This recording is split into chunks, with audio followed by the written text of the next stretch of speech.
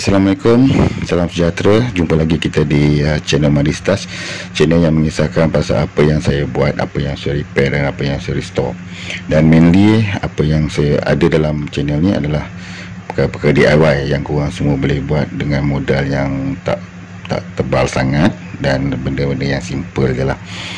Cumanya untuk kali ni uh, Saya nak buat benda yang lain sikit Ataupun saya nak tunjukkan benda yang lain sikit iaitu unboxing unboxing ni adalah berkenaan dengan mesin spray gun elektrik berjenama Dewu. Dan dia berkuasa lebih kurang lah 500 watt. Ok. Jadi sebelum kita nak uh, start dia punya unboxing dan sebagainya ni kepada siapa-siapa yang belum uh, subscribe channel saya boleh uh, subscribe like dan share video saya kepada kawan-kawan untuk dia orang nak buat perbandingan kalau dia orang nak beli mesin spray gun ni kan. Dan kepada yang dah subscribe tu terima kasih banyak-banyak saya ucapkan dan teruslah uh, menyokong saya punya channel ni kan. Jadi mesin ni saya beli daripada Shopee online. Sekarang dalam keadaan PKP ni kan senang gunakan Shopee je. So dia datang dalam kotak dia macam ni. Kecil dia tak besar pun. Uh, ok untuk apa ni beritahuan korang kan first saya saya ter, berkenan nak beli mesin ni kerana color dia. Tengok kan color dia hitam dan kelabu. Dan dekat kotak dia ni dia tulis lah apa kelebihan-kelebihan uh, mesin ni. Tapi itu lebih kurang ialah general iklan dia je kan. Um, dia tak banyak beza kalau saya tengok daripada ni daripada brand-brand yang lain. Tak banyak beza Cuma ada beberapa perkara nanti saya akan terangkan tengok macam mana kan dia punya perbezaan-perbezaannya. Okey, sekarang kat dalam kotak ni dia ada beg satu beg plastik ni. Satu beg plastik ni kita tengok ada mesin dia dalam tu kan. Ada dua. Nanti kita kita pergi satu-satu sebab beg plastik dan dia ada viscosity cup. Nanti kita cerita juga pasal viscosity cup ni macam mana nak pakai dan sebagainya. Uh, dia ada manual book perkara yang paling orang tak baca dan dia ada satu needle ni nanti kita cerita apa benda yang needle tu.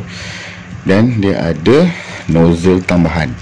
Dia ada bagi dua nozzle tambahan uh, tembaga dengan dua saiz lah. Dan uh, yang lain-lain tak ada apa lagi lah. Dah kotak pun dah kosong lah kan Baik kita pergi satu persatu ya. Yang dalam beg plastik ni uh, ada dua komponen. Satu yang ini adalah uh, main body dia. Dia ada uh, dia punya mesin kat dalam dan tepi ni ada cerita dia punya watt, voltage dan sebagainya. Tepi belah sini dia ada tulisan Daewoo uh, brand dia dan belakang ni adalah penapis udara. Depan ni dia adalah tempat lorong di mana udara tu akan rush ke depan lah, untuk nak mengeluarkan uh, cat ataupun spray tu. Dan komponen ah yang ni salah satu ya dia ada stopper dekat body uh, main body. Stopper dia dekat main body. So yang ini adalah komponen kedua itu komponen tangki. Dia kapasiti dia 800 ml ini adalah dial untuk nak besarkan atau nak kecilkan udara apa ni angin yang keluar. Dan ini adalah tag untuk nak macam mana nak sambung lah ok so dia ada lock dia. Ada dua lock depan dan belakang. Atas ni adalah untuk servis. Kalau ada problem besar apa semua kita boleh buka the whole thing dan boleh boleh buat servis ke dalam tu. Depan ni dia ada nozzle cap nozzle dan nozzle uh, apa tu uh, dia punya screw depan tu kan. Ok nak securekan dia punya nozzle cap. So nozzle cap ni dia boleh uh, di adjust sama ada tanduk tu ke kiri kanan atas ke bawah dan uh, 45 darjah. Nanti kita cerita macam mana benda tu function.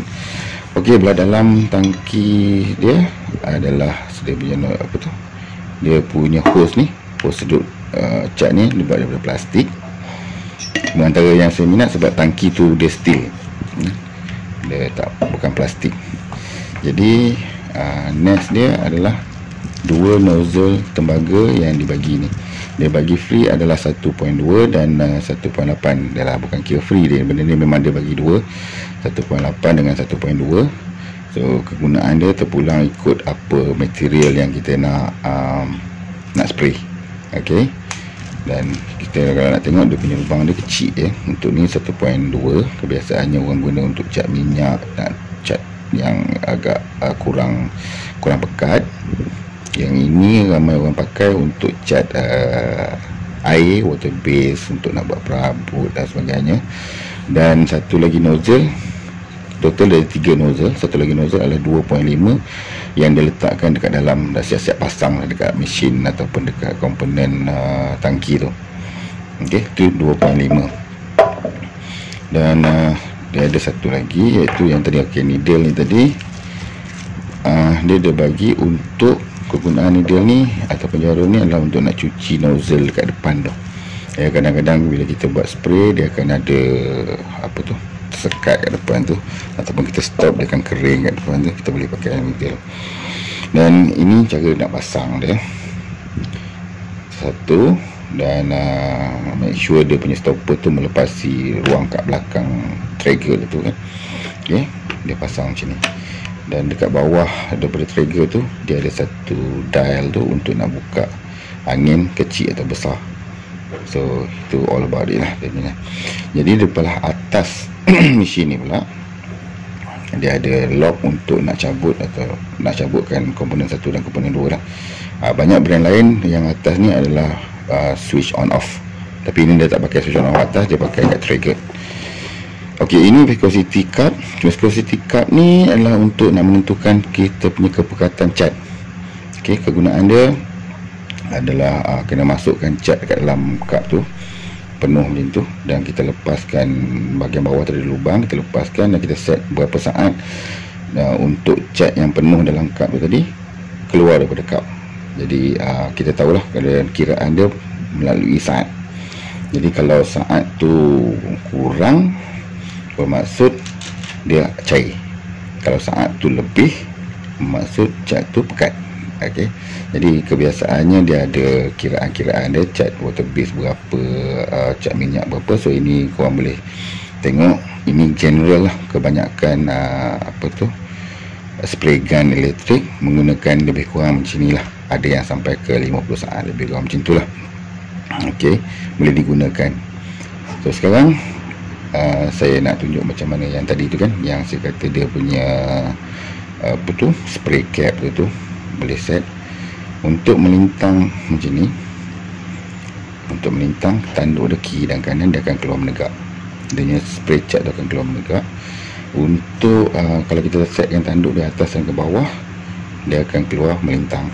Dan kalau setkan tanduk dia tu uh, 45 darjah dia macam ni dia punya keluar cat dia tu adalah membulat ok so bila korang nak guna tu dah set kan ke setakat mana yang korang nak macam mana cat yang uh, cat tu nak keluar dan korang boleh secure kan dengan dia punya seal kat depan kan screw je. Bagi ketat dan boleh guna dah. Yang ini saya bagi uh, pencerahan lagi lah korang boleh tengok macam mana. Kalau yang horizontal tu biasanya kita punya mesin akan pergi ke atas dan ke bawah untuk yang vertikal kiri dan ke kanan. Dan untuk yang membulat tu pergerakan tu adalah untuk spray benda-benda kecil dan ruang-ruang yang kecil. So tapi terpulang lah pada korang nak pakai yang macam mana pun kan? So untuk kali ni saya nak test dulu. Uh, simple test dengan mesin ni. Uh, saya nak buat sanitasi rumah. Kalau korang tengok saya pun dah tengah pakai glamping tu kan? Glamping tu. Uh, memang saya kena quarantine di rumah selama 10 hari. Jadi macam ni kita akan masukkan. Untuk masuk ni kalau yang paling cantik dia tekan butang lock tu dulu baru masukkan.